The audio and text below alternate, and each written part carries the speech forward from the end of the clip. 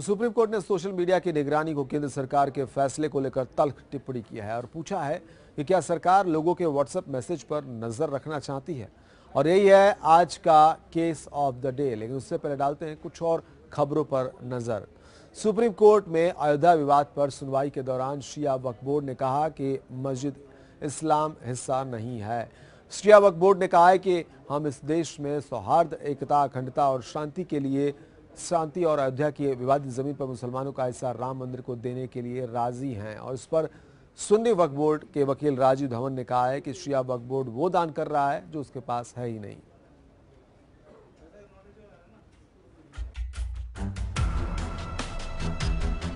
अयोध्या मामले पर सुनवाई के दौरान सुप्रीम कोर्ट में आज यूपी शिया वक्फ बोर्ड ने एक बार फिर दावा किया कि संपत्ति शियाओं की है और वो हाईकोर्ट से मिले एक तिहाई हिस्से को हिंदू को सौंपना चाहते हैं। हालाँकि कोर्ट ने इस पर कोई टिप्पणी नहीं की। शिया बोर्ड ने साफ़ कहा कि बाबरी मस्जिद का संरक्षक एक शिया था, इसलिए सुन्नी वक्फ बोर्ड या कोई और भारत में मुसलमानों का प्रतिनिधि नहीं है। वहीं सुन्नी वक्फ बोर्ड की तरफ़ से कहा गया कि 1946 में ये फैसला हो गया कि ज़मीन पर मालिकाना हक सुन्नी वक्फ बोर्ड का है। शिया वक्फ बोर्ड ने 2017 में उन्नीस सौ छियालीस के फैसले को चुनौती दी है। इस मामले में शिया वक्फ बोर्ड का कोई लोकस नहीं है। सुन्नी वक्फ बोर्ड के वकील राजीव धवन ने कहा कि शिया वक्फ बोर्ड वो दान कर रहा है, जो उसके पास है ही नहीं। राजीव धवन ने एक बार फिर इस्लाम में मस्जिद की अनिवार्यता का सवाल संविधान पीठ को सौंपने की मांग की। उन्होंने कहा कि मस्जिद भले ही गिरा दी गई हो, लेकिन इबादत का अधिकार बरकरार है। राजीव धवन ने कहा कि जैसे बामियान बुद्ध की मूर्ति को तालिबान ने गिराया, वैसे ही बाबरी मस्जिद को हिंदू तालिबान ने गिराया। धवन ने यह भी कहा कि यूपी सरकार या केंद्र किसी पक्ष के समर्थन में दलील नहीं रख सकते, क्योंकि दोनों अपने वैधानिक दायित्व से बंधे हैं। मामले पर अगली सुनवाई अब 20 जुलाई को होगी। राकेश सिंह एपीएन दिल्ली। और बात सुनंदा पुष्कर मौत मामले की, जिसमें सुप्रीम कोर्ट ने सुब्रमण्यम स्वामी की याचिका का निपटारा कर सुनवाई बंद कर दी है, और इस दौरान सुप्रीम कोर्ट ने कहा है कि पुलिस इस मामले में चार्जशीट दाखिल कर चुकी है, और कोर्ट संज्ञान ले चुका है। इसलिए अब मामले में सुनवाई की ज़रूरत नहीं है।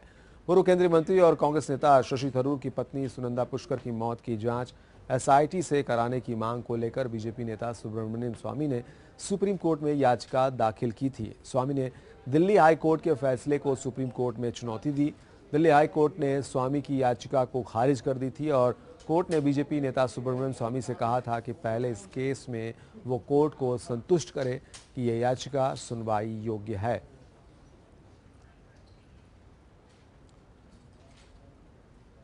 और सुप्रीम कोर्ट ने आपराधिक मामलों में स्पीडी ट्रायल न होने की वजह से लंबे समय तक अब आरोपियों को जेल में रहने के मामले पर खुद संज्ञान लिया है।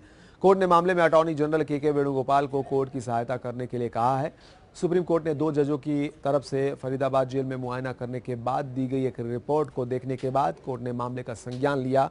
इस रिपोर्ट में मुकदमों के लंबे चलने की वजह से सालों तक जेल में बंद कैदियों के ज़िक्र करते हुए स्पीडी ट्रायल की व्यवस्था लागू करने और कोर्ट का इंफ्रास्ट्रक्चर विकसित करने की बात कही गई है। इससे पहले 10 अक्टूबर 2017 को विचाराधीन कैदियों के मामले की सुनवाई के दौरान सुप्रीम कोर्ट ने महाराष्ट्र, उत्तर प्रदेश, मध्य प्रदेश सरकार की इस बात के लिए आलोचना की थी कि वो उन विचाराधीन कैदियों को भी जेल से रिहा नहीं कर रहे हैं, जो जेल से छूटने के योग्य हैं। आज सुप्रीम कोर्ट ने कहा है कि वो जेल और अदालतों की स्थिति पर विस्तृत सुनवाई करेगा। मुकदमे की सुनवाई और निपटारे में देरी के चलते विचाराधीन कैदियों का जेल में बंद रहना गलत है।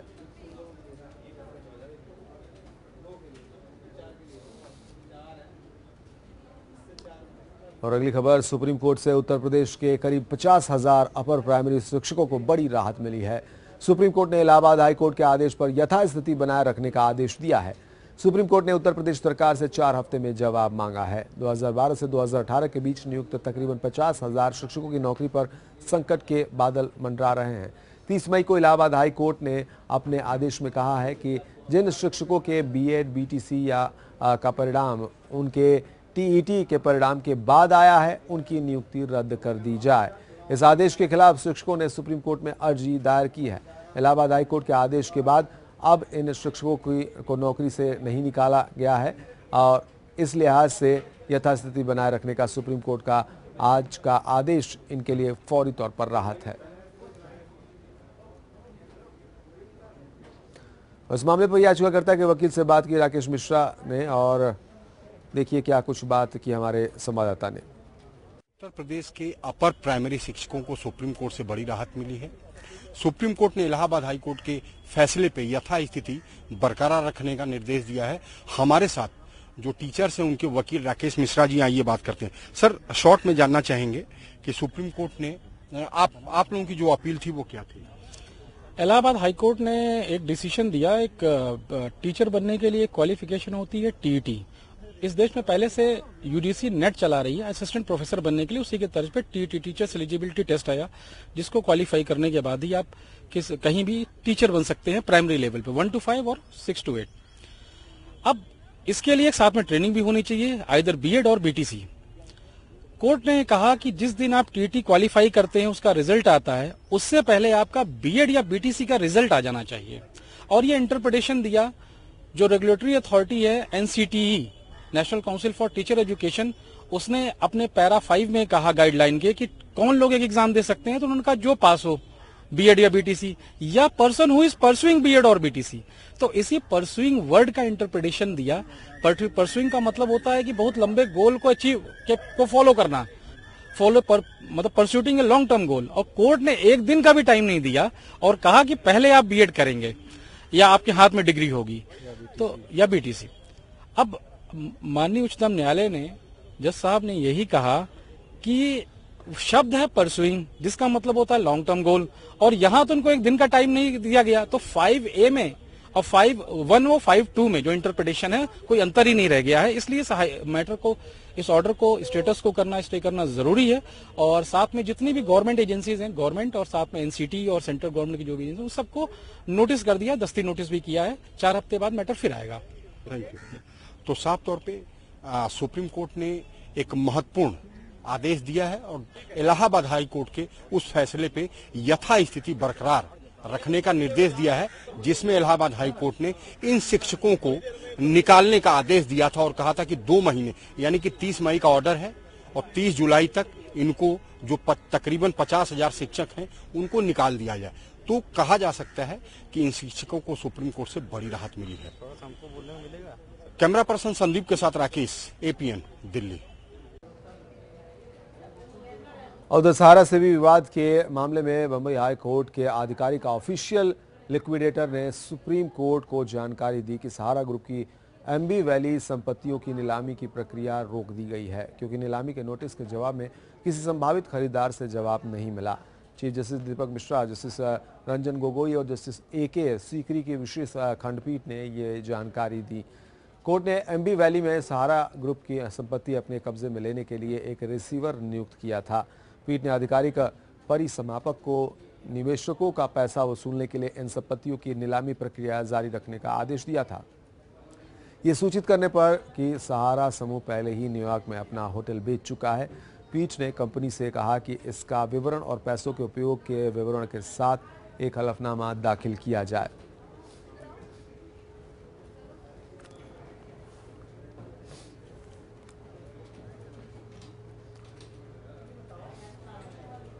और उधर नोएडा को दक्षिण दिल्ली से जोड़ने वाले डी एंड डी से आना जाना फ़िलहाल फ्री रहेगा। सुप्रीम कोर्ट ने लोगों को मिल रही राहत बरकरार रखी है और कंपनी से इनकम टैक्स डिपार्टमेंट के इस आरोप पर जवाब देने के लिए कहा है, जिसमें इनकम टैक्स डिपार्टमेंट ने कहा है कि कंपनी टैक्स नहीं जमा कर रही है।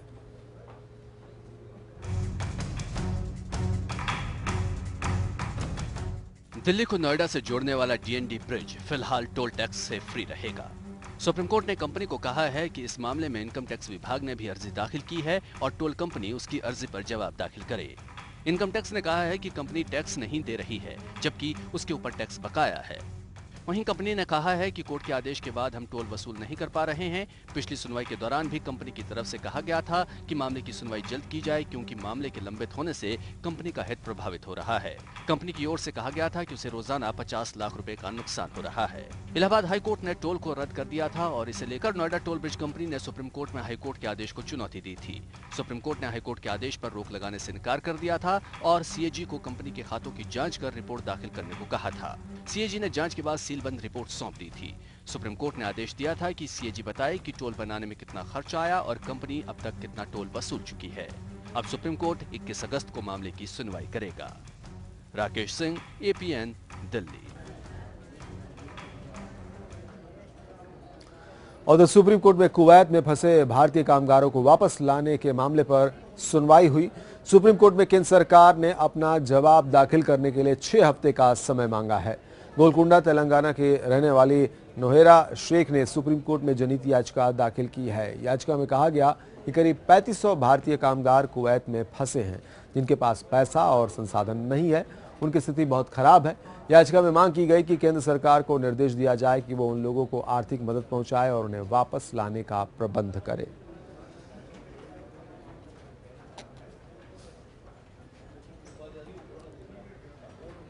और देश के तमाम अदालतों की बात करें तो वहाँ जजों की भारी कमी है।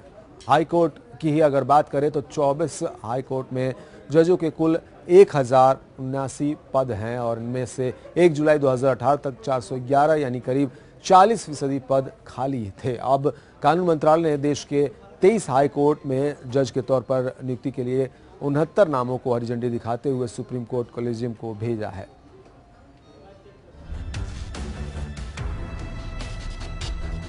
देश भर के तेईस उच्च न्यायालयों में जजों की नियुक्ति करने के लिए कानून मंत्रालय ने उनहत्तर नाम सुप्रीम कोर्ट कॉलेजियम के पास भेजे हैं। कानून मंत्रालय ने इस बार हाईकोर्ट कॉलेजियम से अपने पास आए उनहत्तर उम्मीदवारों के बारे में इंटेलिजेंस ब्यूरो से रिपोर्ट लेने के बाद उन्हें आगे भेज दिया है। पिछली मिसालों को देखा जाए तो हाईकोर्ट कॉलेजियम से नामित किए गए 40 फ़ीसदी उम्मीदवारों को सुप्रीम कोर्ट कॉलेजियम खारिज कर देता है। तय प्रक्रिया के अनुसार हाईकोर्ट कॉलेजियम जज बनने लायक उम्मीदवारों की छटनी करते हुए अपने अपने यहाँ से कानून मंत्रालय को सूची भेजते हैं, जहाँ से उन्हें अंतिम निर्णय के लिए सुप्रीम कोर्ट कॉलेजियम को भेज दिया जाता है। इस साल 24 हाईकोर्टों में चौंतीस जजों की नियुक्ति की जा चुकी है। 2016 में विभिन्न उच्च न्यायालयों में 126 जजों की नियुक्ति की गई थी।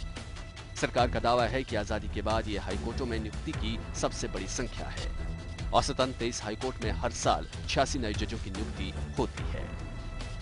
ब्यूरो रिपोर्ट एपीएन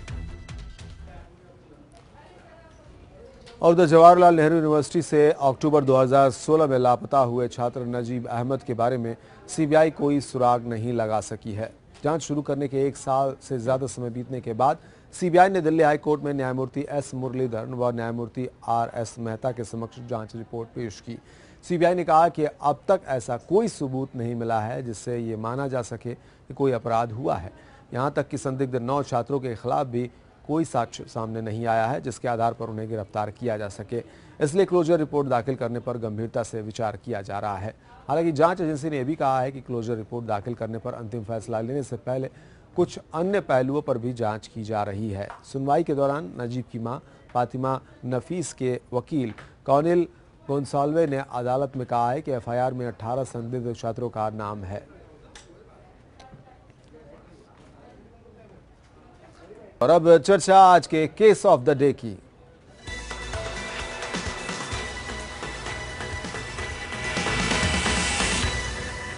तो सोशल मीडिया पर केंद्र की निगरानी का मुद्दा गर्माता नज़र आ रहा है। सुप्रीम कोर्ट ने सोशल मीडिया की निगरानी के केंद्र सरकार के फैसले को चुनौती देने वाली तृणमूल कांग्रेस विधायक महुआ मोहित्रा की याचिका पर केंद्र सरकार को नोटिस जारी किया है। कोर्ट ने अटॉर्नी जनरल को इस मामले में मदद करने को कहा है।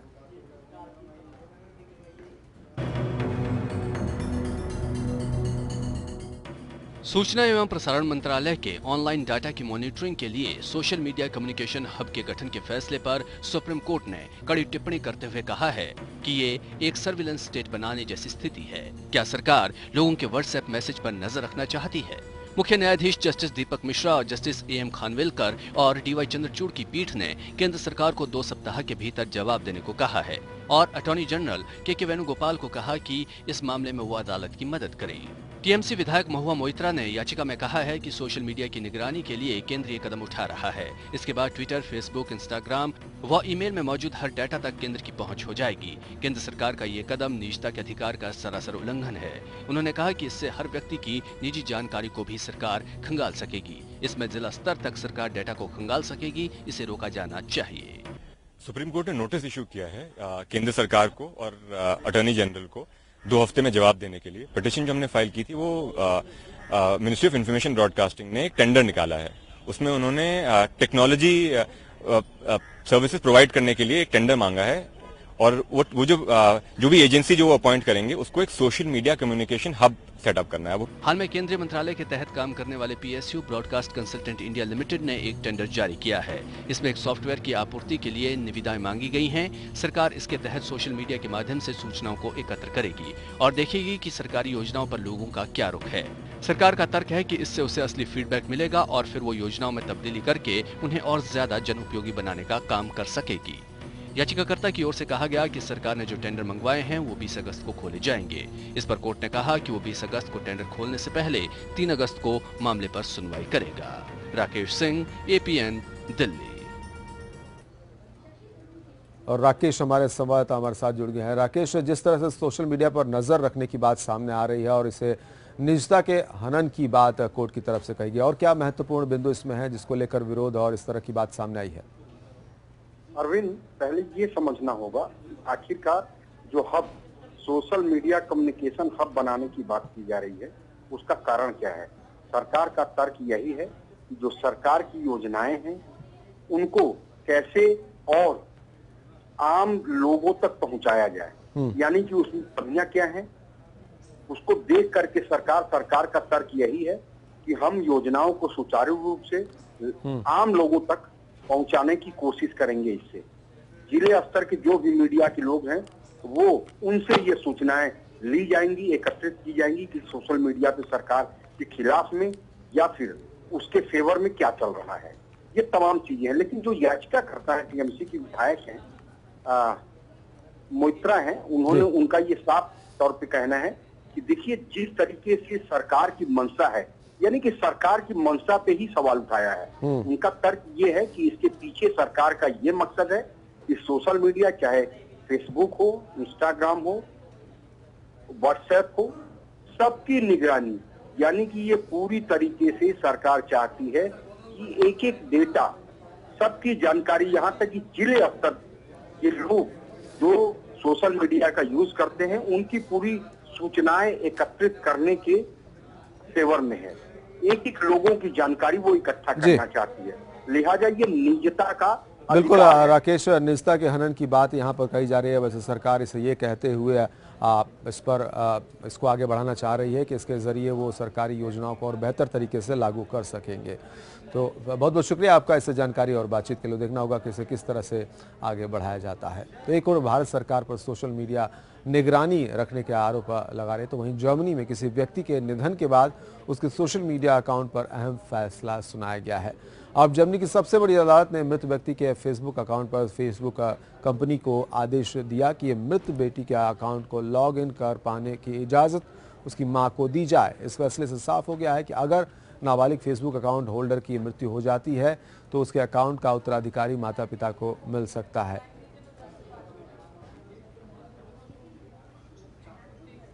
और उत्तराखंड हाई कोर्ट की बात करें तो उत्तराखंड हाई कोर्ट ने कहा है कि योग्यता पूरी करने वाला किसी भी जाति का व्यक्ति मंदिर का पुजारी बन सकता है। मंदिर में नियुक्त ऊँची जाति का कोई पुजारी, अनुसूचित जाति या जनजाति के किसी भक्त को पूजा करने से नहीं रोक सकता।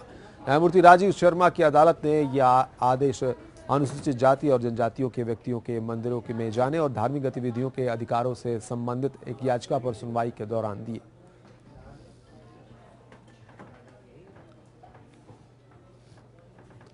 और छत्तीसगढ़ के चाणकमार टाइगर रिज़र्व में वहाँ पर प्रधानमंत्री आवास योजना के तहत प्रस्तावित 621 आवासों के निर्माण पर छत्तीसगढ़ हाई कोर्ट ने रोक लगा दी है।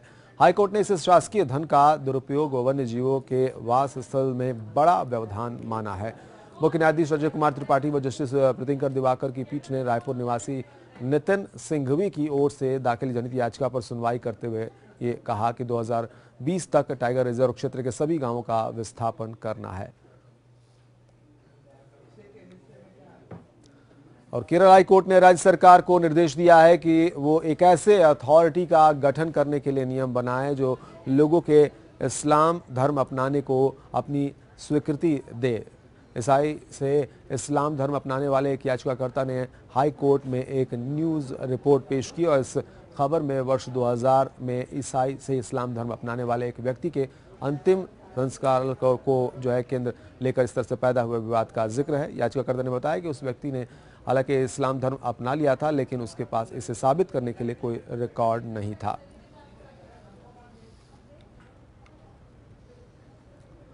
और गुजरात हाई कोर्ट में उधर एक अजीब मामला दायर हुआ है। इस केस में कोर्ट को फैसला देना है कि चोरी के रुपयों से खरीदी गई कार का मालिक कौन होगा। मामला यह कि एक व्यक्ति ने चोरी की, चोरी के पैसे से उस शख्स ने अपने बेटे को कार गिफ्ट की। जाँच के दौरान पुलिस ने चोर को दबोचा और कार जब्त कर ली। इस पर जिस शख्स ने घर से चोरी चोरी हुई थी उसे उसने मिर्जापुर ग्रामीण के मजिस्ट्रेट कोर्ट में मामला दायर कर कार का कब्जा मांगा। तो कोर्ट्स राउंड में फ़िलहाल इतना है, लेकिन खबरों का सिलसिला आगे भी जारी है।